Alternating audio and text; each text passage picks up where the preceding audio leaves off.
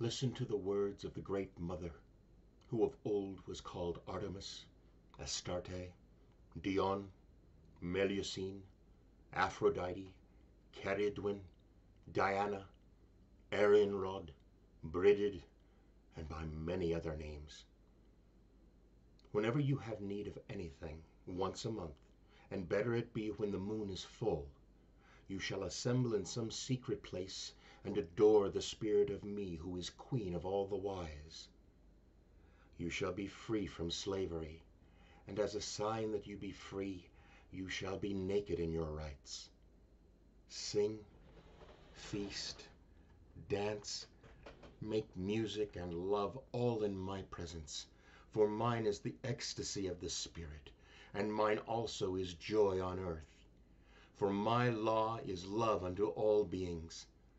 Mine is the secret that opens the door of youth, and mine is the cup of wine of life that is the cauldron of Ceridwen, that is the holy grail of immortality.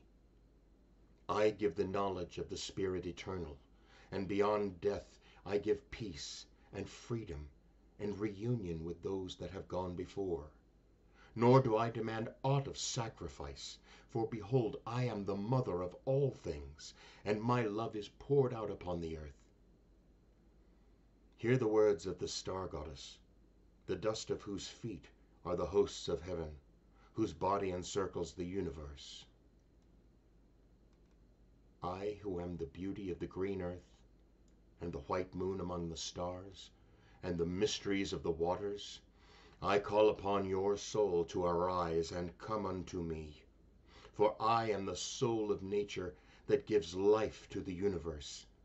From me all things proceed, and unto me they must return. Let my worship be in the heart that rejoices, for behold, all acts of love and pleasure are my rituals. Let there be beauty and strength, power and compassion, honor and humility mirth and reverence within you. And you who seek to know me, know that the seeking and yearning will avail you not unless you know the mystery. For if that which you seek you find not within yourself, you will never find it without. For behold, I have been with you from the beginning, and I am that which is attained at the end of desire.